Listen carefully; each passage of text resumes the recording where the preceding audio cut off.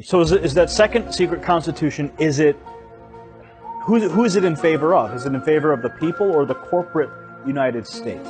It's in favor of the banks. It's certainly not in favor of the people. What happens when you have a child is your child is given a social security number. They estimate how many taxes your child is going to pay over his or her lifetime. And they went, they take that birth certificate and they issue it on the capital markets and they earn money on it. I love Philippines. This is where I came from. As I studied our ancient history, foreign invaders caused so much pain for this country, and they are still invading us till now by way of wrong mind programming using religion, politics, education, and mainstream media. Have you noticed it too? Then share this video to all your friends.